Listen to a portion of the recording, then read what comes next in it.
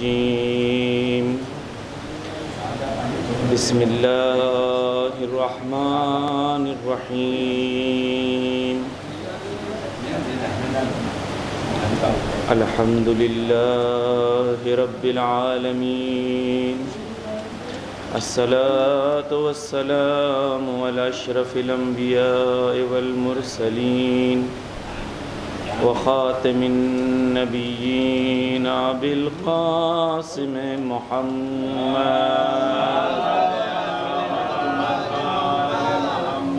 وعلى أهل بيت الطيبين الطاهرين المظلومين المعصومين.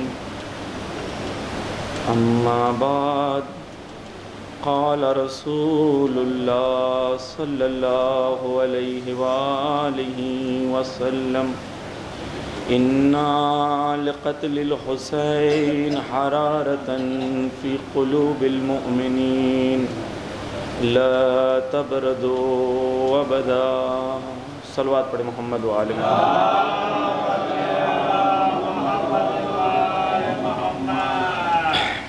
عزان محترم ہماری گفتگو اب معزز سامعین کے سامنے ہے۔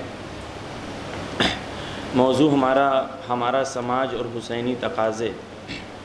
ہر روز ہم کچھ منٹوں میں ایک چھوٹا سا ریکیپ کر دیتے ہیں تاکہ معزز سامعین کے ذہنوں میں وہ ذہن نشین ہو جائے، تاکہ باتیں صرف سنی نہ جائیں، وہ حفظ ہو سکیں۔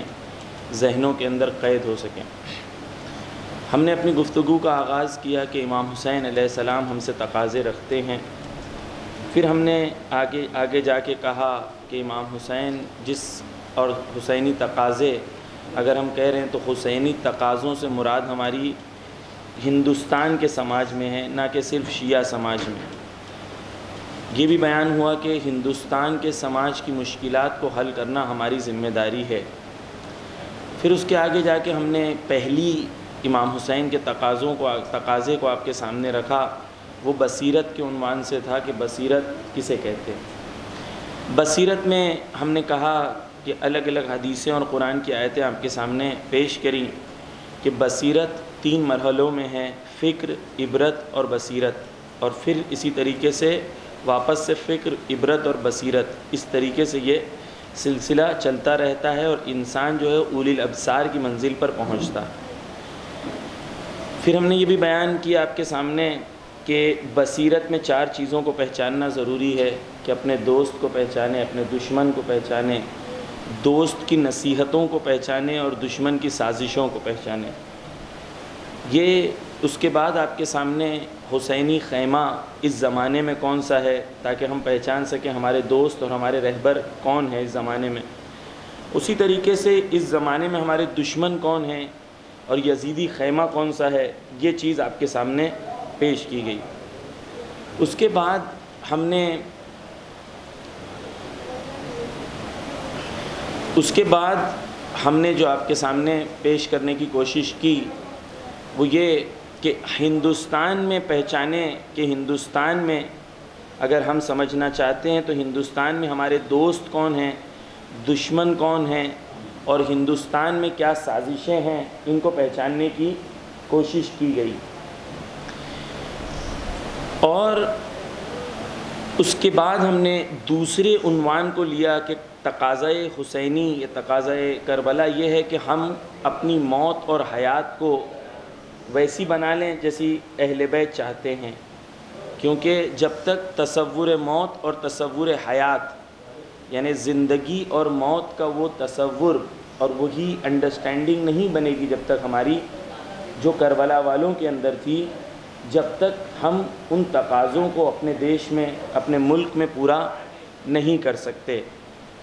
اور اسی سلسلے میں بہت سارے آپ کے سامنے فیکٹس رکھے گئے، تاریخی اور آج کے دنیا کے فیکٹس کے کس طریقے سے ہندوستان میں کچھ لوگ ہیں جو مظالم ڈھا رہے ہیں، کچھ لوگ ہیں جو غریبوں کے حق کو مار رہے ہیں، کچھ لوگ ہیں جو غریبوں کے حق کو لوٹ رہے ہیں، اور کچھ لوگ ہیں جو مالا مال ہو رہے ہیں اور اکثر ہندوستان کی عوام غربت کا شکار ہو رہی ہے۔ کچھ لوگ ہیں جو طبقاتی نظام ہندوستان میں قائم کرنا چاہتے ہیں دلتوں کو الگ کرنا چاہتے ہیں، خود براہمن ہو کے ہندوستان میں حکومت کرنا چاہتے ہیں۔ اور طبقاتی نظام کی وجہ سے جو نیچے کے طبقات ہیں، ان پر ظلم کرنا چاہتے ہیں۔ یہ ہندوستان کی حقیقتوں کو آپ کے سامنے پیش کیا گیا، عزیزان محترم۔ ہم وقت کیونکہ کم ہیں تین مجلسیں صرف بچی ہیں۔ ہم نے چھ تقاضے سوچے تھے آپ کے سامنے بیان کرنے کے لیے۔ لیکن جب ہم بنا رہے تھے نوٹس، اسی وقت ہمیں خیال تھا کہ شاید یہ تقاضے پورے نہیں ہو پائیں گے سارے۔ اور ہم نے اپنے لیے یہ طے کیا کہ زیادہ باتیں بتانے سے اچھا یہ ہے کہ کم باتیں بتائیں لیکن اچھے سے بتائیں تاکہ وہ ذہن نشین ہو جائیں۔ وگرنہ زیادہ باتیں بتانے سے اور اگر وہ ذہن نشین نہ ہوں تو اس کا اتنا فائدہ نہیں۔ ہے تو ہم یہ کوشش کریں گے کہ ہم آپ کے سامنے جو بھی چیز بیان کریں کوشش یہ کریں گے کہ اس کو مکمل طریقے سے سمجھانے کی کوشش کریں۔ ایزان محترم ہم نے آپ کے سامنے جو تقاضوں کو پیش کیا اس کے اندر موت اور حیات کے تقاضوں کو کل پیش کیا۔ اور یہ ہم نے کہا کہ ہمیں اپنی زندگی میں اپنے وقت کے امام کے لیے کچھ کرنا چاہیے۔ صرف باتیں کرنے سے کچھ ہوگا نہیں۔ کل آپ کے سامنے یہ بھی پیش کیا گیا کہ اگر آپ غور کریں کہ ہم دو دو ٹائم یا دو زمان کے بیچ میں ہماری زندگی ہے، ایک کربلا اور ایک انتظار، ایک ظہور۔ یہ آپ کے سامنے کل پیش کیا گیا۔ کربلا ہماری تاریخ ہے اور انتظار ہمارا، ہماری امید اور ہمارا آئندہ اور ہمارا فیوچر یہ دو فیز کے بیچ میں، یہ دو ٹائم لائن کے بیچ میں ہماری زندگی ہے۔ خدا نے ہمیں خلق کیا اور ایسے دیش میں خلق کیا جس کا نام ہندوستان ہے، جہاں پر دنیا میں دوسری سب سے بڑی آبادی ہے۔ ہندوستان میں دنیا میں سب سے بڑی دوسری آبادی ہے۔ دوسری طور پر یہی ہندوستان کے اندر مسلمانوں کی دوسری سب سے بڑی آبادی ہے پوری دنیا میں۔ مسلمانوں کی دوسری بڑی آبادی پوری دنیا کے اندر ہندوستان ہے۔ اور دو ہزار چالیس تک یہ کہا جاتا ہے ہمارے گمان تو یہ ہے کہ اس سے پہلے لیکن دو ہزار چالیس تک ہندوستان میں مسلمانوں کی اکثریت ہو جائے گی۔ تو ہم ایک ایسے دیش میں ہیں ایک ایسے ملک میں زندگی بسر کر رہے ہیں جہاں پر مسلمان اکثریت میں ہوں گے، پوری دنیا میں۔ یہ ملک میں امام مہدی کے چاہنے والوں کا کردار کیا ہونا چاہیے؟ کبھی اگر ہم غور کریں اس بات پر کہ اتنے بڑے ملک میں جو دنیا میں دوسری نمبر کی آبادی ہو اور سب سے بڑی مسلمان کی آبادی ہو، کیا امام زمانہ کی اس ملک سے اور اس ملک میں رہنے والے مومنین سے امیدیں ہیں یا نہیں؟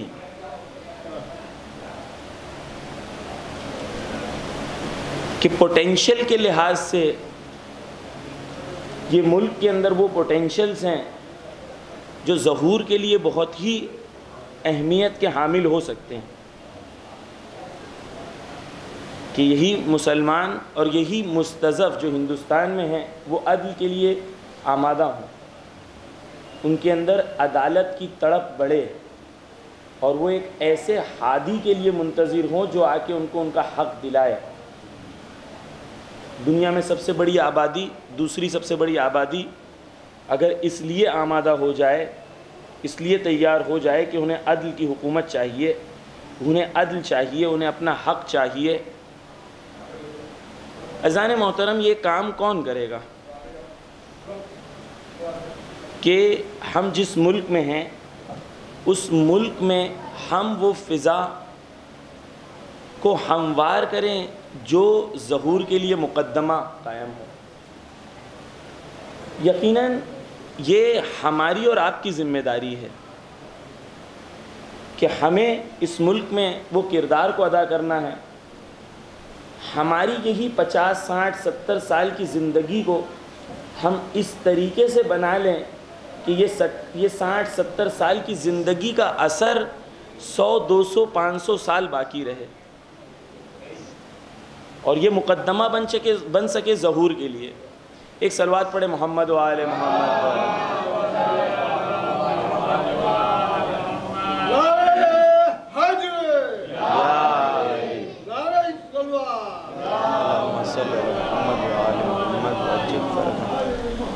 عزیزان محترم توجہ کا طالب ہوں کہ انتظار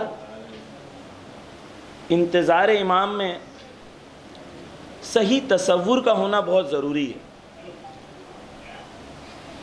ہمیں اگر انتظار کا موضوع ختم ہوگا تو ہمیں ایک اور موضوع کو آج ہی ختم کرنا ہے اور اس کے بعد ایک اور موضوع کو کوشش کریں گے کہ آج شروع کریں اگر خدا نے توفیق دی تو۔ کیونکہ وقت کم ہے ہم چاہ رہے ہیں کہ آپ کے سامنے کچھ چیزوں کو پیش کر دے جانے سے پہلے۔ ایزان محترم انتظار کی مثال آپ کے سامنے پیش کر دوں۔ ایک کسان ہے، وہ انتظار کر رہا ہے کہ اللہ کی رحمت آئے۔ اور جب اللہ کی رحمت آئے گی تو اس کا کسان، اس کا کھیت جو ہے، کھیت میں ہریالی ہوگی۔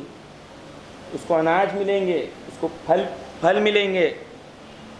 جو اس نے کاشت کیا ہے، اس کو حاصل ہوگا۔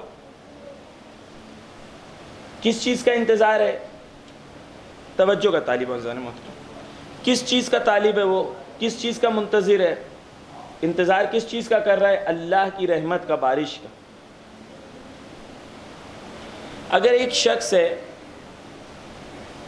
اس کا کھیت ہے، اچھی زمین پر ہے، لیکن وہ کھیت میں کاشت نہیں کرتا، روز جاتا ہے وہ کھیت میں، روز جا کے کھیت میں بیٹھتا ہے اور بیٹھ کے واپس گھر پہ آ جاتا ہے۔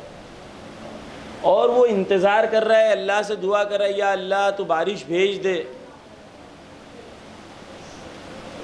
انتظار کر رہا ہے وہ کہ یا اللہ تو بارش بھیج دے۔ اگر بارش آ گئی تو کیا ہوگا؟ وہ مٹی جو ہے، وہ گل بن جائے گی۔ مٹی گیلی ہو جائے گی اور وہاں گندگی ہو جائے گی۔ توجہ ہے عزیزان محترم، مٹی ہوگی، گیلی ہوگی، لیکن اناج نہیں اگے گا۔ اس کا انتظار صحیح نہیں ہے۔ دوسرا ایک شخص ہے، وہ بھی انتظار کر رہا ہے کہ بارش آ جائے، لیکن اس نے محنت کی ہے۔ زمین پر ہل چلایا ہے، بیج کو ڈالا ہے فاصلے پہ بیج کو ڈالا ہے، بصیرت سے بیجوں کو ڈالا ہے، جہاں ڈالنا چاہیے وہاں ڈالا ہے، اندازوں سے کام کیا ہے، محنت بھی کی ہے، بصیرت بھی لگائی ہے، بیج بھی ڈالی ہے، محنت کی ہے، اور محنت مقصد کے مطابق کی ہے، اب وہ منتظر ہے کہ بارش ہو جائے۔ اگر بارش ہوگی اور اللہ کی رحمت آئے گی، تو کیا ہوگا؟ اب کیا ہوگا؟ بولیں آپ لوگ بولیں۔ کیا ہوگا اب؟ بارش جب ہوگی تو بارش ہونے کے رزلٹ میں ہریالی ہوگی، پھل، پھول آئیں نکلیں گے۔ اس کو کاشت ملے گی۔ اجزان محترم، دو نظریے ہیں انتظار کے۔ ایک انتظار وہ پہلے والے کسان کا ہے جسے کچھ نہیں کرنا ہے۔ صرف بارش آ رہی ہے۔ الجل الجل یا امام یا امام، آپ آ جائیے، آپ آ جائیے، آپ آ جائیے۔ یہ وہ پہلے والے کسان کی طرح ہے کہ اگر امام آ بھی جائیں گے تو اللہ کی حجت جو ہے اس زمین پر ضائع ہو جائے گی، کیونکہ اس نے کوئی محنت نہیں کیا اس امام کے لیے۔ جس طریقے سے گیارہ امام تھے لیکن گیارہ امام کے چاہنے والے امت نہیں تھی ان کے دفاع کے لیے۔ گیارہ کے گیارہ شہید کر دیے گئے۔ اس لیے خدا نے باروے کو اپنی غیبت میں لے گیا۔ سلوات پڑھے محمد والے اس لیے خدا نے باروے کو غیبت میں لے گیا کہ تم جب امت بن جاؤ گے تب میں امام بھیجوں گا۔ جب تک تم اپنی زبانوں کے اندر اپنی اپنی کھیتوں کے اندر کاشت نہیں کرو گے، جب تک محنت نہیں کرو گے، جب تک اپنے آپ کو تیار نہیں کرو گے کہ اللہ کی رحمت آئے گی تو تمہارا ایمان پھل دینے کے قابل ہو جائے۔ جب تک وہ ایمان نہیں آئے گا۔ آیت اللہ کراتی مثال دیتے ہیں کہ خدا نے گیارہ نور بھیجے۔ مثال کے طور پر بلب۔ یہ دنیا اندھیرا تھا۔ اللہ نے ایک بلب بھیجا تاکہ اس دنیا کے اندر روشنی ہو جائے۔ دشمن آئے، گیارہ کے گیارہ بلب کو پھوڑ کر چلے گئے۔ تم سے کہا تھا، تمہاری ذمہ داری یہ تھی، امت کی ذمہ داری یہ تھی کہ اس نور کی حفاظت کرے۔ اس نور کی حفاظت کرے۔ تم امت بن نہیں سکے، نور کی حفاظت کر نہیں سکے۔ اس لیے خدا نے بارہویں نور کو اپنے پاس لے لیا۔ کہا، جب امت بن جاؤ گے جب امت بن جاؤ گے اور جب اس لائق ہو جاؤ گے کہ بارہویں کو بھیجوں اور اس کی حفاظت کر سکو گے تب میں آپ، تب میں وہ بارہویں کو بھیجوں گا۔ اجزان محترم، اسی دیش، اسی ملک، ہندوستان میں جو آپ کے سامنے پیش کیا گیا، ہمیں کام کرنا ہے تاکہ مقدمہ ظہور فراہم ہو۔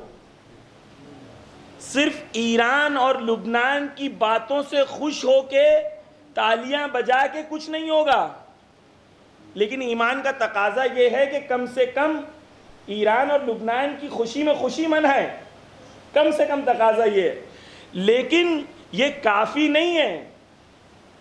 ضروری یہ ہے کہ ہم ان سے درس لیں اور درس لینے کے بعد اپنے عزیز ملک میں کام کریں تاکہ مقدمہ ظہور ہم اس کے لیے فراہم کر سکیں۔ یہ ہم سب کی ذمہ داری ہے عزیزان محترم۔ آپ کے بیچ میں کل بیان ہوا میں چاہ رہا تھا کہ انتظار کا صحیح تصور ہمارے ذہنوں میں آئے۔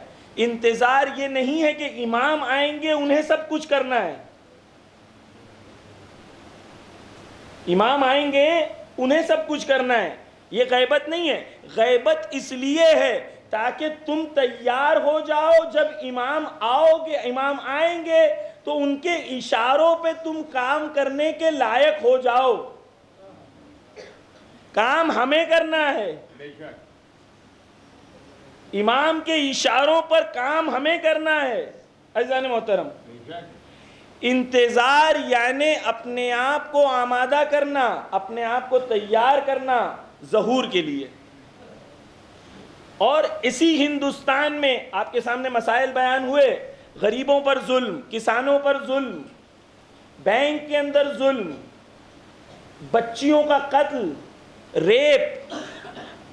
آج بڑھتا ہوا ویسٹرن کلچر ہندوستان کے اندر بڑھتی ہوئی فحشہ اس، ان سب کے خلاف، جس کو، اس دیش کو اور اس دیش کی جنتا اور عوام کی محافظت کرنا ہے، وہ حسینی ہے۔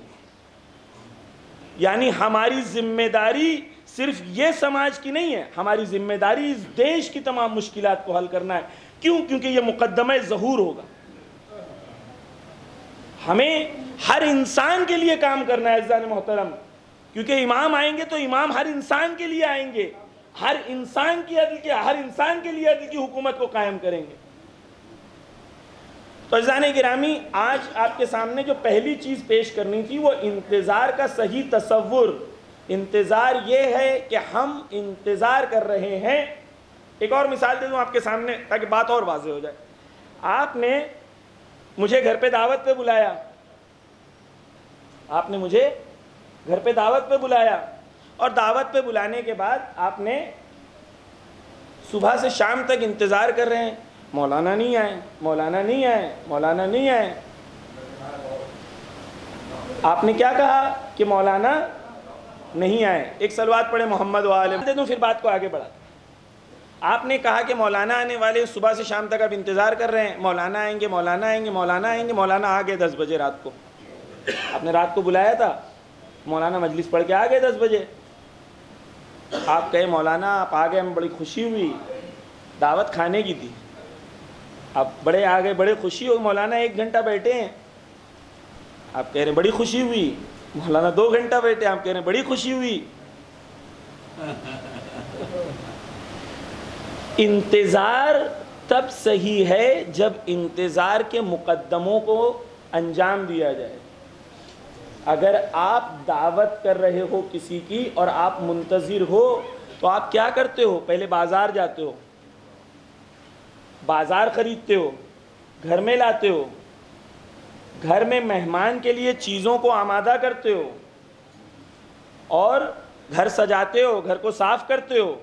اگر آپ یہ کچھ نہ کرو اور کہو کہ مولانا آنے والے ہیں، مولانا آنے والے ہیں، تو آپ کا انتظار صحیح ہے۔ نہیں ہے۔ اگر ہم کہیں کہ امام آنے والے ہیں، امام آنے والے ہیں، اور امام کے لیے ہم نے نہ بازار گئے، نہ کوئی چیز لائی، امام کو پیش کرنے کے لیے ہمارے پاس کوئی چیز موجود نہیں ہے۔ عزیزان محترم، ہماری زندگیوں کا مطالعہ کر لیں کہ جب امام آئیں گے اور اگر امام ہمارے سے قبر میں پوچھیں گے کہ کیا لائے ہو میرے لیے؟ اپنی زندگی کے اندر کون سا ایسا کام کیے ہو جو میرے لیے ہے، میرے ظہور کے مقدمے کے لیے؟ تو کیا کہیں گے ہم لوگ؟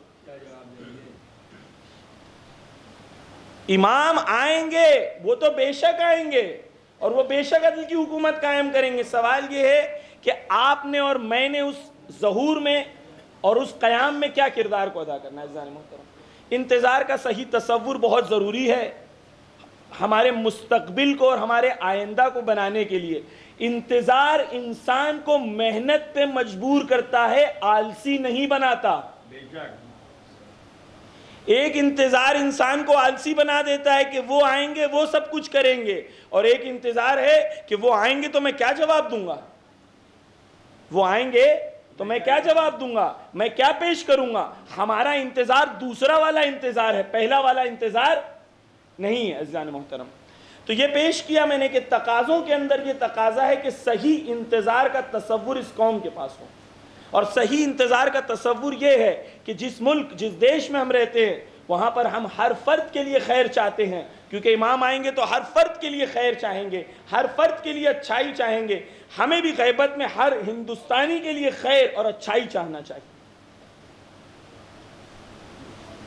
تاکہ لوگ کہیں کہ یہ قوم ایسی قوم ہے جس نے ہمیشہ ہمارا خیال رکھا۔ یہ قوم ایسی قوم ہے جس نے ہمیشہ ہمارے لیے آواز اٹھائی، ہمیشہ ظلم کے خلاف کھڑے رہے۔ یہ قوم ایسی قوم ہے۔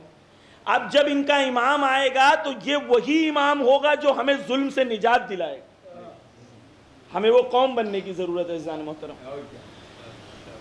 دوسری چیز جو آپ کے سامنے مجھے آج بیان کرنی ہے عزیزان محترم، وہ یہ ہے کہ اگر ہم اپنے آئندے کو بنانا چاہتے ہیں، اگر ہم اپنے فیوچر کو بنانا چاہتے ہیں، ہم خواتین کے کردار کو ڈیفائن کریں ہماری سوسائٹی میں کیا ہے۔ سور توبہ کی آیت میں دو گروہ ہیں جن کا تذکرہ کیا گیا جو آپس میں لڑیں گے، جو مسجد میں کل پیش کیا میں نے۔ ایک جگہ خدا کہتا ہے، المنافقون والمنافقات، منافق مرد اور عورتیں دوسری جگہ خدا نے اس کے سامنے مومن مرد اور عورتوں کا ذکر کیا۔ عزیزان محترم، ہمارے یہاں تو آپ کے جو علاقہ ہے، اس کے اندر تو ہم نے جو سنا ہے کہ لیڈیز لوگوں کی مجلسیں نہیں ہوتی، ان لوگ ماتم کرتے ہیں صرف۔ عزیزان گرامی، اگر آپ قوم کو سدھارنا چاہتے ہو، تو ایسی مائیں قوم میں پیدا کر دو کہ اگلی نسل خود دیندار ہو جائے۔ امام خمینی نے کہا کہ تم مجھے اچھی مائیں دو، میں تمہیں انقلاب دوں گا۔ اگر ہم چاہتے ہیں کہ ہماری قوم کے اندر سدھار ہو، پچاس پرسنٹ ہماری پاپولیشن کو، پچاس پرسنٹ کی ہماری آبادی کو ہم دینی تعلیم سے دور رکھ رہے ہیں، جبکہ دینی تعلیم کو سمجھنا اور اس پر عمل کرنے کی صلاحیت ان میں ہم سے زیادہ ہے۔ جو مجلسیں وہ کرتی ہیں، جو ازاداری وہ کرتی ہیں، وہ ہم نہیں کر پاتے۔ جو قربانیاں وہ دیتی ہیں امام حسین کے لیے، وہ ہم نہیں دیتے۔ یہ کم علمی کے بعد حال ہے۔ اگر علم بڑھ جائے گا تو وہ کیا کریں گی؟ عزیزان محترم، ہم اپنے آئندہ کو، اپنے فیوچر کو تب تک نہیں سوار سکتے جب تک کے لیے ہم نے اپنی عورتوں کے لیے، اپنی آئندہ نسلوں کی لڑکیوں کے لیے کوئی پلاننگ نہیں کی ہو۔ عزیزان گرامی، بڑی بڑی باتیں کر کے فائدہ نہیں ہے جب چھوٹی چھوٹی چیز ہمارے سماج میں مسنگ ہے۔ ہم نے آپ کے سامنے پیش کیا مسجد میں یہ کہ ہم خود ایک ایک کر کے چار بچوں کو ہم نے پکڑ کے سوال کیا کہ آپ بالغ ہو یا نہیں ہو؟ ہمیں یہ تعجب ہوا کہ چاروں کے چاروں بالغ تھے اور چاروں کے چاروں کو یہ پتہ نہیں تھا کہ وہ بالغ ہو چکے ہیں۔ یہ آپ نے اور ہم نے اپنی اگلے نسل کی تیاری کی ہے کہ بلوغ کی منزل پہ پہنچ گئے ہیں۔ شریعت واجب ہو گئی ہے، احکام واجب ہو گئے انہیں نہیں پتا کہ ہمارے اوپر شریعت واجب ہو گئی ہے۔ غسل جنابت کے بارے میں پوچھا تو کہا، نہا لیتے ہیں روز مولانا؟ میں آپ سے ایک سوال کروں عزیزان محترم۔ اگر آپ کے بچے کو کانوینٹ سکول میں یا اچھی سکول میں ایڈمیشن نہیں ملتا تو آپ کیا کرتے ہیں؟ سچ بتائیں کیا کرتے ہیں؟ جو بچے افورڈ کر سکتے ہیں اپنے بچوں کو کانوینٹ سکول میں ڈالنے کے لیے، اگر ان کو ایڈمیشن نہیں مل رہا ہو تو کیا کرتے ہیں؟ بتائیے آپ لوگ کیا کرتے ہیں؟ ہاں؟ پریشان ہو جاتے ہیں، سورس لگاتے ہیں، راتوں کو نیند نہیں آتی ہے۔ کیوں؟ میں پوچھوں گا کیوں؟ تو آپ کہیں گے، مولانا، ہمارے بچوں کا فیوچر خراب ہو جائے گا۔ ہے نا؟ ہمارے بچوں کا فیوچر خراب ہو جائے گا، مولانا۔ اور آخرت کا فیوچر خراب ہو رہا ہے، اس کی کوئی فکر نہیں۔ عزیزان گرامی، اتنے بڑے منطقے میں اتنی بڑی شیعہ آبادی ہونے کے بعد اگر ایک مکتب اور ایک مدرسہ نہ ہو، تو یہ شرم کی بات ہے اس قوم کے لیے۔ اور ذمہ دار وہ ہر فرد یہاں پر بیٹھا ہے جو مستطی ہے، جو کچھ کر سکتا ہے لیکن نہیں کر رہا ہے عزیزان محترم۔ ہم حسینی ہیں، ہمیں آپ کو خوش نہیں کرنا ہے، ہمیں امام زمان کو خوش کرنا ہے۔ ہم ایسی باتیں یہاں سے نہیں بیان کریں گے۔ جس سے آپ صرف خوش ہوں واہ واہ کریں۔ اور آپ کو سب کو جنت کی سرٹیفکیٹ دے دوں یہاں سے اور آپ لوگ سب جنت چلے جائیں۔ یہ نہیں کرنا مجھے۔ عزیزان محترم، آپ تصور کریں، کیا ہماری کیا ہماری خواتین، بچیاں جب حالت بلوغ پر پہنچتی ہوں گی، کیا ان کو بلوغ کے مسائل پتہ ہیں یا نہیں پتہ؟ ایک دوسری مشکل ہماری قوم کی یہ ہے۔ کہ باپ اور بیٹے دوستوں کی طرح نہیں رہتے۔ بچہ جب بلوغ پر پہنچتا ہے تو سوال کس سے کرے؟ مکتب تو ہے نہیں سکھانے کے لیے۔ باپ بیٹے سے دوستی کا ویوہار نہیں کرتا کہ بیٹا کھل کے پوچھے، بابا آج رات کو میرے ساتھ یہ ہو گیا ہے، یہ کیا ہے، مجھے کیا کرنا ہوگا؟ بڑی بڑی باتیں کرنا اور ہے۔ چھوٹے چھوٹے عمل سے شروع کر جب کریں گے تب بڑی بڑی باتیں کرنے کے لائق ہوں گے عزیزان محترم۔ اس ماہ محرم کے گزرنے کے بعد ہم میں سے کتنے لوگ جاگتے ہیں کہ ہمارے قوم میں بیسک چیزیں نہیں ہیں، بیسک۔ کتنے سو گھر ادھر ہیں، کتنے سو بچے ادھر ہیں، لیکن آپ کے پاس ایک کوئی کلاس کا سسٹم نہیں، کوئی مکتب کا سسٹم نہیں ہے۔ عزان محترم، ہمیں اپنی آخرت کے بارے میں سوچنا ہوگا، اپنے امام زمان کو ہم کیا جواب دیں گے؟ کہ ہم نے اپنی اپنی اگلی نسل کے لیے کیا تیاری کی ہے؟ عزان محترم، جو چیز آپ کے سامنے بیان کرنی تھی وہ خواتین کا کردار ہے۔ آپ یقین جانیں کہ اپنی قوم میں خواتین پر دینی انویسٹمنٹ کریں۔ اچھی علماء کو بلائیں، ان کے ساتھ ان کے درس رکھیں۔ اچھی ذاکراؤں کو بلائیں جو حوضے سے پڑھی ہوئی ہیں یا تعلیم یافتہ ہیں اور ان کے ساتھ ان کے درس رکھیں۔ آج حجاب کو لے کے اتنے سارے سوالات ہیں لڑکیوں کے ذہن میں۔ ہر روز فلم ایک نیا سوال لے کے آتی ہے۔ ہر روز میڈیا ایک نیا سوال لے کے آتا ہے۔ ان کے سوال، ان کے مسائل کو کون حل کرے گا؟ کون جواب دے گا؟ اجزان گرامی میں صرف آپ سے اور مجھ سے خود کو پہلے اپنے آپ کو ذمہ دار کہہ کے کہوں۔ میں آپ کو اور مجھ کو ذمہ دار سمجھتا ہوں کہ اگر ہم نے حرکت کی تو یہ قوم بدلے گی، اور اگر ہم نے حرکت نہیں کی تو یہ قوم کبھی نہیں بدلے گی واہ واہ کرنے سے۔ آپ میری مجلس میں چاہے جتنا واہ واہ کر لیں، یہ قوم نہیں بدلنے والی۔ یہ قوم تب بدلے گی جب آپ اٹھیں گے۔ ایک قدم اٹھاؤ، اللہ دس قدم آپ کی طرف اٹھائے یہ مجلسوں کا اثر کتنا ہوا؟ کیسے پتا چلے گا؟ جب ماہ محرم ختم ہوگا، تب پتا چلے گا کہ ہم میں سے کتنے لوگ درد مند ہوئے اور کتنے لوگوں نے اس قوم کی مشکل کو حل کرنے کے لیے قدم اٹھایا۔ وگرنہ جنہوں نے واہ واہ کیا، شکریہ بہت بہت، لیکن ہمیں آپ کا واہ واہ کی ضرورت نہیں ہے۔ امام زمانہ کو جو ضرورت ہے، اگر آپ نے وہ کی تو امام بھی خوش ہوں گے، ہم بھی خوش ہوں گے۔ عزیزان محترم، خواتین قوم کا ایسٹ ہے قوم کا سرمایہ ہے ان کے اوپر انویسٹمنٹ کیا جائے، ان کے لیے اشرے رکھے جائیں، ان کے لیے کلاسز رکھی جائیں۔ جوانوں کے اوپر جب ہم جینٹس کے اوپر محنت کرتے ہیں، لڑکوں کے اوپر محنت کرتے ہیں، یہ جوان گریجویٹ ہوتے ہیں۔ گریجویٹ ہونے کے بعد جاب کرتے ہیں۔ جاب کرنے کے بعد صبح نو بجے سے لے کے رات کو آٹھ بجے تک گھر پہ تھکے آ رہے آتے ہیں۔ دین کا درد بھی ہو تو اتنے تھکے ہوئے ہوتے ہیں، درد جو تھکن کا ہوتا ہے وہ انہیں کہیں جانے نہیں دیتا۔ جی۔ پورے اٹھارہ سال سے یہاں پر ہو رہے ہیں اور اس گھر میں بھی درس قرآن ہوتا ہے رمضان میں۔ بہت کوششیں کریں ہتھیرا جاتے ہیں، ہر بار بلاتے ہیں، دعوت سے بھیجتے ہیں۔ لیکن بہت پرسنٹیج بہت کم ہے اویئرنیس بہت کم ہے دین کی۔ جی۔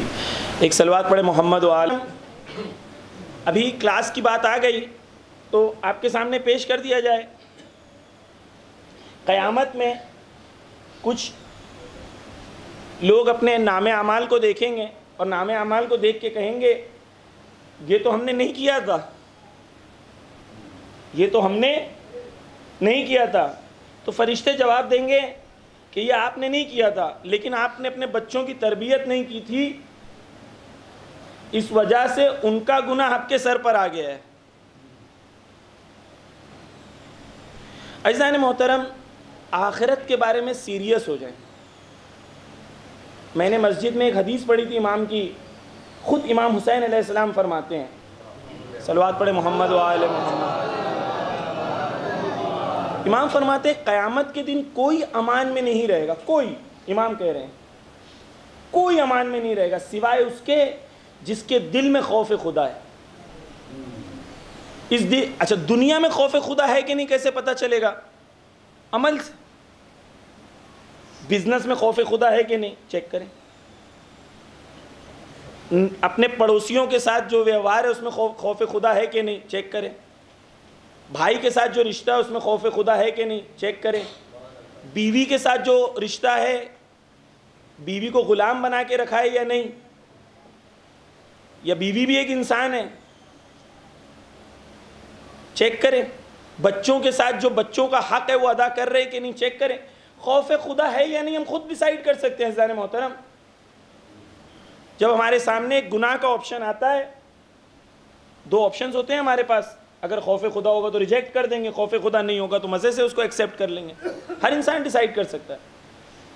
اپنی آخرت کے بارے میں، اپنی اگلی نسل کی تربیت کے بارے میں ہمیں سیریس ہونا پڑے گا۔ باتیں کرنے سے واہ واہ کرنے سے کچھ نہیں ہوگا۔ اگر سنڈے کلاسز چل رہی ہیں، جو حضرات چلا رہے ہیں، ہر فرد کی ذمہ داری ہے اس کی مدد کریں۔ آپ اپنے بچوں کی کانوینٹ اسکول کے لیے کیسے پریشان ہوتے ہیں؟ لیکن میرے بچے کو غسل نہیں آتا۔ اس کے بارے میں کوئی پریشانی نہیں ہے۔ سیریس ہونا پڑے گا عزیزان محترم سیریس ہونا پڑے گا۔ یہ آسان چیزیں نہیں ہیں۔ ایک روایت میں نے پڑھی تھی، اس وقت اس کا مفہوم میرے ذہن میں، کیونکہ میں نے مطالعہ نہیں کیا، مفہوم بیان کر رہا ہوں اس کا۔ ساتویں امام فرماتے ہیں کہ اگر میں نے کسی اگر میں نے کسی شیعہ کو دیکھا، جوان کو، کہ وہ تعلیم نہیں حاصل کر رہا ہے تو میں اپنی تلوار نکال کر شمشیر نکال کر اس کے اوپر حملہ کروں۔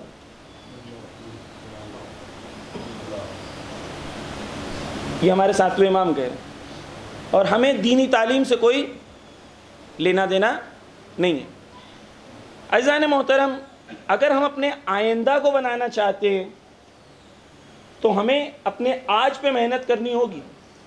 اگر آج پہ محنت نہیں کریں گے تو آئندہ نہیں بن سکتا اجزان محترم۔ جو چیز آپ کے سامنے بیان کرنی ہے، وہ یہ ہے کہ خواتین کا رول اس کے اندر سینٹرل ہے، آئندہ بنانے میں۔ اچھی مائیں اچھا سماج بنائیں گی۔ ماؤں کو بنائیں اس اس اس محلے میں۔ اچھی مائیں، پاکیزہ مائیں۔ آج موویز کی وجہ سے سیریلز کی وجہ سے جو ماحول ہمارے سماج کے اوپر غالب ہے، وہ فیمنزم کا ہے۔ اب مجھے بیان نہیں کرنا ہے۔ یعنی فیمنزم یعنی عورت جو ہے وہ الگ طریقے سے سوچ رہی ہے۔ آج آپ عورت کو کہیں، مجھے دو بچوں سے زیادہ بچوں کی ضرورت ہے، تو کہے گی نہیں، دو کافی ہیں۔ وہ موویز اور وہ ایڈورٹائزمنٹس کا اثر ہے جو عورت کے سوچ پہ، فکر پہ ہے۔ ہم ایک طرف سے کہتے ہیں میڈیا نہیں دیکھو، دوسری طرف سے ہم میڈیا پہ کوئی انویسٹمنٹ نہیں کرتے۔ ہم اپنے بچوں کو کہتے ہیں، دیکھیں بچوں کارٹون مت دیکھو۔ کارٹون دیکھو گے تو بگڑ جاؤ گے، اگر جو لوگ دیندار ہیں وہ کہتے ہیں اگر تو۔ لیکن پیرلل طور پر جو اسلامی کارٹون ہیں، وہ بنانے کے لیے ہم کوئی خرچہ نہیں کرتے۔ یا ایران یا لبنان میں لاکھوں کروڑوں روپے کے کارٹونز بنے ہوئے ہیں۔ اس کی ڈبنگ تک کرنے کو ہم لوگ تیار نہیں ہوتے۔ خرچہ کرنے کے لیے تیار نہیں ہوتے۔ اجزان محترم، کلن لب لباب یہ ہے کہ ہم ہر وہ چیز جس سے ہماری آئندہ نسل کی تربیت ہو، اس کے بارے میں ہماری سیریسنس کم ہے۔ بچوں کی کارٹونز موویز میڈیا ہر چیز میں ہم لوگ اس وقت پیچھے ہیں عزیزان محترم۔ میں صرف آپ کو یہ بیان کر دوں کہ جو پیس پہ دنیا چل رہی ہے، وہ پیس سے ہم لوگ اس وقت بہت پیچھے ہیں۔ ہمیں بہت محنت کرنی ہوگی، تب تب ہم اس پیس پہ آ پائیں گے۔ آپ آج اپنے بچوں کو جیسے ہی بچہ آواز کرتا ہے، اس کے سامنے ایک موبائل دے دیتے ہیں۔ بیٹا کارٹون دیکھ لو۔ ماں باپ کو بات کرنی ہے، یا مہمان آئے ہیں، بچوں کو کارٹون دے دیتے ہیں۔ بیٹا کارٹون دیکھ لو۔ کارٹون ہمارے بچوں کی تربیت کر رہا ہے۔ ہے یا نہیں؟ اسی طریقے سے میڈیا ہے، موویز ہیں۔ ہر چیز تاثیر گزار ہوتی ہے عزیزان محترم۔ کوئی چیز ایسی نہیں کہ آپ دیکھیں اور آپ کی آپ کے ذہن پر، آپ کی فکر پر اثر نہیں ہوگا۔ ہم سیریس نہیں عزیزان محترم۔ میں ایک بار پھر سے یہ ایمفسائز کر دوں، اس پہ اہمیت آپ کے سامنے رکھ دوں کہ اپنی خواتین کی تربیت کے لیے کوئی نظام اور کوئی سسٹم بنائیں۔ محرم ختم ہونے کے بعد۔ آج دنیا کے اندر فیمنزم اور بڑی بڑی چیلنجز ہیں جو عورتوں کے سامنے ہیں دنیا کے اندر۔ سلوات پڑھے محمد و عالم محمد۔ اذان محترم، ہم لوگ جس سماج میں رہتے ہیں، وہاں پر ویسٹرن سسٹم کو ایک رول ماڈل کی طرح پیش کیا گیا ہے۔ میں کچھ فیکٹس آپ کے سامنے رکھ دوں تاکہ جو خواتین ہیں، ان تک اگر یہ پہنچ رہا ہے، یا آپ جا کے ان تک پہنچائیں۔ یا لوگ جو انٹرنیٹ، یوٹیوب پہ دیکھیں گے، وہ لوگ سنیں۔ ایزان گرامی ہماری عورتوں کو کہا گیا تمہارے لیے رول ماڈل ویسٹ ہے۔ دیکھو ویسٹ کی عورتیں کتنا ترقی کر رہی ہیں۔ آپ بھی ان کی طرح ترقی کرو۔ میں آپ کے سامنے کچھ ڈیٹا دے دوں۔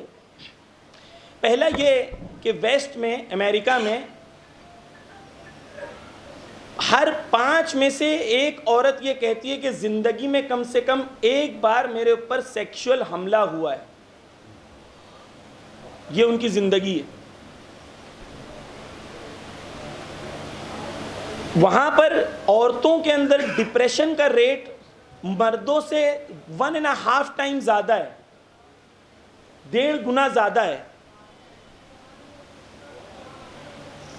شادی کا ریشیو سوسائٹی میں کنٹینیوس گرتا جا رہا ہے۔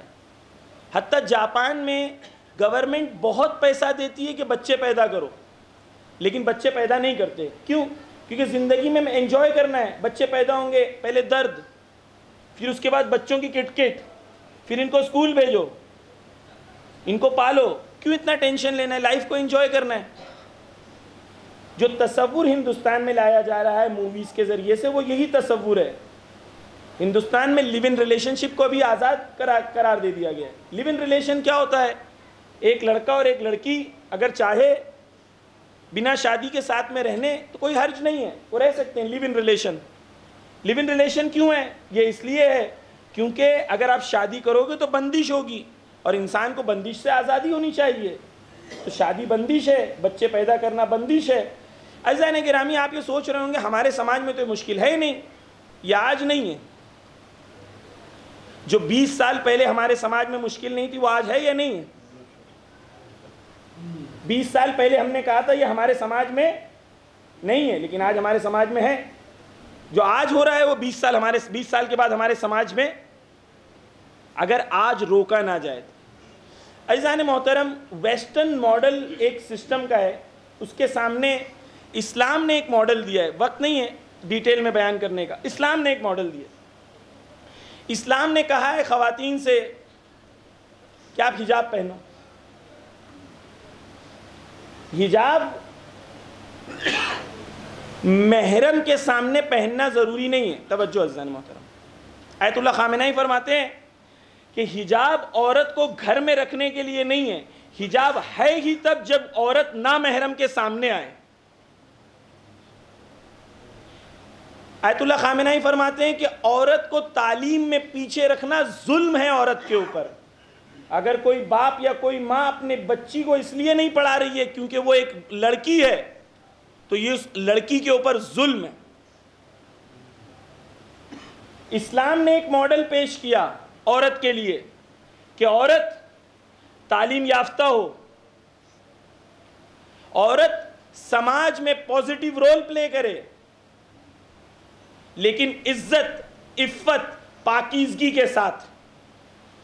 اسلام نے کہا عورت کو کہ تمہیں اگر آگے بڑھنا ہے تمہیں آگے بڑھنے کے لیے کپڑا اتارنے کی ضرورت نہیں ہے۔ اگر ماڈرنزم کپڑے اتارنے میں ہے اور آپ کا ماڈرن بننا کپڑے اتارنے میں ہے، تو جنگل والے سب سے زیادہ ماڈرن ہوتے کیونکہ وہاں کپڑے کا کوئی تصور نہیں ہے۔ شہید متحری نے اپنی کتاب میں اس کو نقل کیا آج سے پچاس سال پہلے۔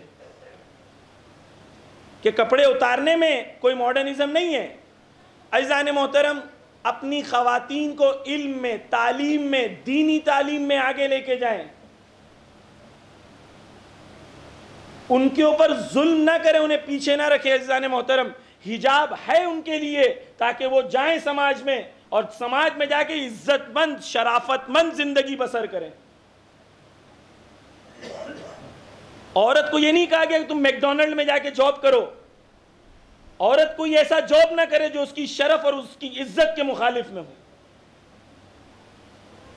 عورت سے کہا گیا، تعلیم حاصل کرو، ایسی جگہ کام کرو کہ تمہارا شرف، تمہاری عزت برقرار رہے۔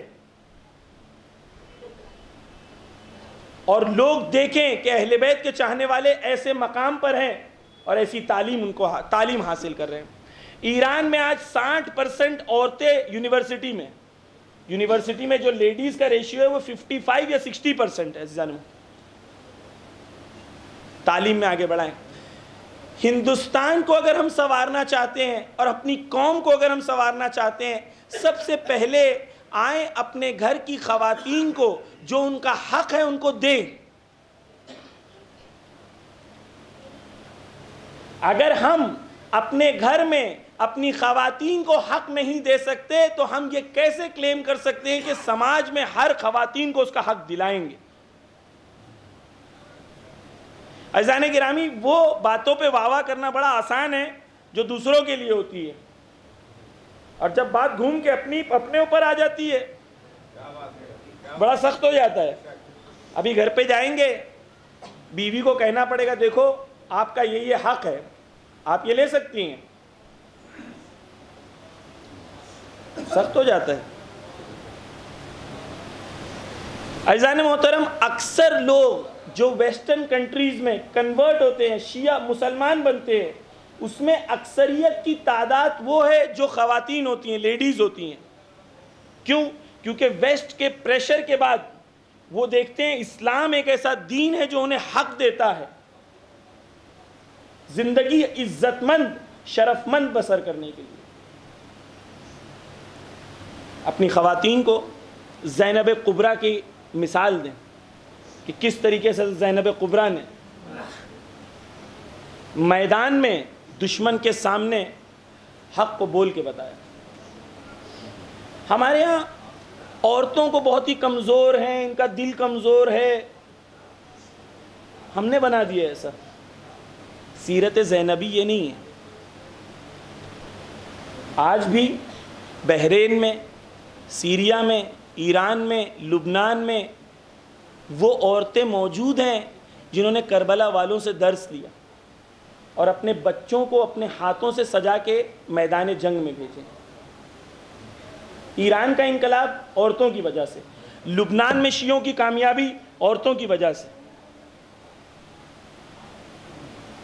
اپنے شوہر کے سامنے انہوں نے اپنے سارے گہنوں کو نکال کر، زیور کو نکال کے رکھ دیا۔ کہا، آج انقلاب کو، آج انقلاب کو ضرورت ہے۔ یہ لو ہمارے تمام گہنوں کو اسے بیچ دو اور جا کے امام خمینی کی خدمت میں دے دو۔ ہمیں گہنے نہیں اسلام چاہیے۔ ہمیں زیور نہیں اسلام چاہیے۔ آپ تربیت کر کے تو دیکھیں اپنی عورتوں کی۔ عورتیں سماج میں انقلاب لاتی ہیں۔ عورتیں ہوتی ہیں جو سماج کو تبدیل کرتی ہیں، عزیزان محترم۔ حضرت زینب قبرا اب دیکھیں میدان کربلا میں۔ وہاب قلبی کی ماں کو دیکھیں۔ کہ سر جب آتا ہے وہاب قلبی کا، تو اٹھا کے پھینک دیتی ہیں۔ کہتی ہیں، خدا کی راہ میں جو دے دیتے، واپس نہیں لیتے۔ ماں ہے، عورت ہے، لیکن کیسی عورت ہے؟ عزیزان گرامی، اگر کربلا روح میں اتر آئے، کربلا وجود میں اتر آئے تو عورت کو زینبی بنا دیتا ہے۔ آئیں، اپنی مجلسوں کو ایسی بنائیں جس سے ہماری روحیں زندہ ہوں، جس سے ہماری قوم زندہ ہو، جس سے ہماری خواتین زندہ ہو۔ دس بستہ گزارش ہے میری آپ لوگوں سے کہ عورتوں کے لیے اچھے سے اچھی مجالسوں کا اہتمام کریں۔ عورتوں کے لیے اچھے سے اچھی ازاداری کا اہتمام کریں۔ عورتوں کو سکھائیں کیونکہ یہ بچوں کو سکھائیں گی۔ آپ صبح سے شام تک جاب پہ ہوں گے۔ قوم کو بدلنا چاہتے ہیں، پہلے عورتوں کو بدلیں۔ یہ میں یقین سے کہہ رہا ہوں عزیزان محترم، تقریباً دس سال سے ہم جوان لڑکوں کے ساتھ کام کر رہے ہیں۔ ان کی کلاسز ان کے، ان کو کم لے کے جانا اور ان کے ساتھ سمر کیمپس کرنا اور یہ، اور ہم نے صرف دو لیڈیز کیمپس کیے ہیں۔ ابھی تک دو لیڈیز کیمپس کا ریزلٹ وہ دس لڑکوں کے کیمپ سے بہت زیادہ ہے۔ سیریسنس ان کے اندر بہت زیادہ ہے۔ دن میں وقت بھی ان کے پاس زیادہ ہوتا ہے۔ لڑکوں کی طرح آوارہ گردی نہیں کرتی ہے، باہر کھڑے رہ کے لڑکوں کے ساتھ بائک پہ کھڑے ہیں، گھوم رہے ہیں۔ دس، پانچ پانچ گھنٹہ، چار چار گھنٹہ بس باتیں کر رہے ہیں۔ معذرت کے ساتھ جو حق ہے، وہ جو سچائی ہے، وہ بیان کر رہا ہوں میں۔ وقت زیادہ ہوتا ہے، وہ وقت اسلام پہ لگاتی ہیں، قرآن پہ لگاتی ہیں، مجلسیں سنتی ہیں۔ آپ کی میری ذمہ داری عزیزان محترم، دس بستہ گزارش ہے۔ کہ کچھ کریں عورتوں کے لیے۔ سماج کو بدلیں۔ حسین کا تقاضا ہے کہ سماج بدلے۔ امام زمانہ کا تقاضا ہے کہ سماج بدلے عزیزان محترم۔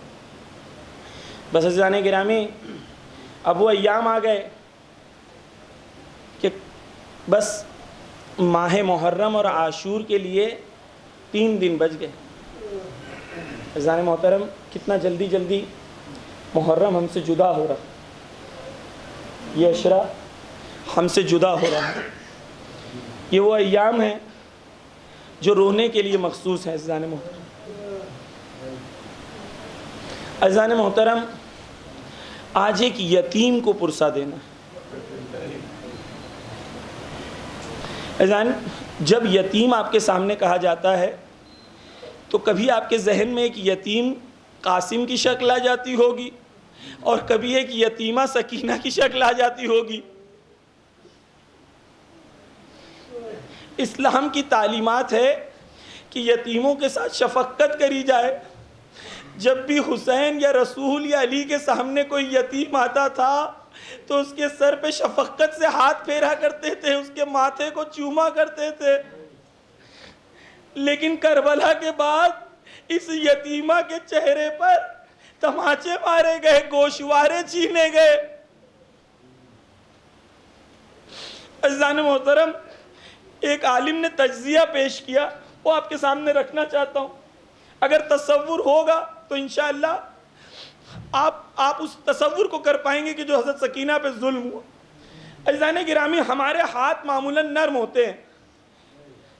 لیکن جو لوگ شمشیر چلاتے ہیں اور جو لوگ جنگ میں ہوتے ہیں، ان کے ہاتھ معمولاً بڑے سخت ہوا کرتے ہیں۔ جب ہم کہتے ہیں سکینہ کو تماچے لگے، ہم یہ تصور کرتے ہیں کہ کیسے ان ملونوں کے ہاتھ تھے جن سے تماچے لگے۔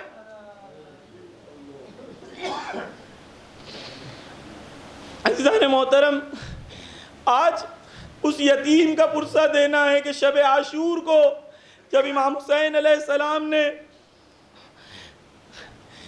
شب عاشور کو کہا اپنے اصحاب سے کہا کہ جب ان سے وعدہ لیا شہادت کا، تو تمام اصحاب شہادت کا وعدہ دے چکے۔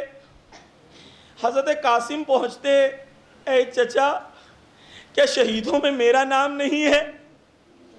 آپ نے اونو محمد کا تو نام لیا، میرا نام نہیں لیا۔ اے چچا، مجھ سے کوئی خطا ہو گئی چچا؟ امام حسین روایت میں ہے کہ حضرت قاسم کو پکڑتے ہیں، گلے سے لگاتے ہیں۔ قاسم بھی بہت روتے ہیں، حسین بھی بہت روتے ہیں۔ اس سے اندازہ ہوگا کہ قاسم سے کتنی محبت کرتے تھے۔ کیونکہ حسن علیہ السلام کی شہادت کے بعد قاسم کو اپنے بیٹے کی طرح پالا تھا، حسین ابن علی نے۔ بہت روتے ہیں قاسم کے، قاسم کو گلے مل کے۔ وہ واقعہ آپ کے سامنے نہیں پڑھنا ہے تسبیح۔ جہاں پر امام تعویز جہاں پر حضرت قاسم تعویز دیکھتے ہیں اور تعویز دیکھنے کے بعد امام کے پاس آتے ہیں، اجازت لیتے ہیں۔ انشاءاللہ باقی مجلسوں میں بھی بیان ہوگا۔ صرف کچھ چیزیں بیان کر دوں، وقت گزر گیا عزیزان محترم۔ کہ حضرت قاسم جب میدان میں جاتے ہیں، تو حمید ابن مسلم کہتا ہے کہ دشمن یہ کہہ رہے تھے کہ کوئی چاند کا ٹکڑا آ رہا ہے۔ اتنے خوبصورت تھے قاسم۔ وہ تیرہ سال کے تھے عزیزان محترم۔ مجھے نہیں پتا تیرہ سال کا بچہ گھوڑے پر کیسے چڑھا ہوگا۔ تلوار لے کے دشمن کے سامنے رجس پڑتے ہیں۔ کہتے ہیں، میں علی ابن ابی طالب کا بیٹا ہوں۔ میں علی ابن ابی طالب کی آل میں سے ہوں۔ اور رسول کی سیرت پہ چلنے میں تم سے زیادہ افضل ہوں۔ اور رسول سے میں تم سے زیادہ قریب ہوں۔ یہ رجس پڑھ کے میدان میں داخل ہوتے ہیں اور قیامت کی جنگ کرتے ہیں۔ اور جب جنگ کر کے دشمن کو واصل جہنم کرتے ہیں، تو پلٹ کے مولا عباس کو دیکھتے ہیں کہ وار صحیح لگایا تھا نا چچا۔ ہاں عزیزان محترم ایک بار دشمن حمید ابن مسلم کہتے ہیں کہ میں نے پوچھا شمر ملعون سے کہ کیا کرو گے؟ تو سارے دشمنوں نے مل کے حملہ کیا۔ روایت میں ہے کہ جب جب قاسم نے آواز دی، جب قاسم نے آواز دی، اے چچا مدد کے لیے آؤ۔ تو روایت کے جملے ہیں کہ امام حسین باز کی طرح قاسم کے پاس پہنچے۔ اور سب سے پہلے تلوار اٹھائی، اس ملون پہ حملہ کیا، جس نے قاسم کے سر پر وار کیا تھا اور اسے واصل جہنم کیا۔ لیکن جب جب امام حسین اس طرف بڑھے تو دشمن کو یہ خطرہ ہو گیا کہ حسین حملہ کرنے والے ہیں۔ گھوڑے یہاں سے وہاں بھاگے، وہاں سے یہاں قاسم کا لاشا گھوڑوں سے پامال ہو گیا۔ قاسم کا لاشا، ٹکڑوں ٹکڑوں میں بٹ گیا۔ ہائے یتیم قاسم آئے حسین ابن علی، ہم سے پرسہ قبول کرے۔ اللہ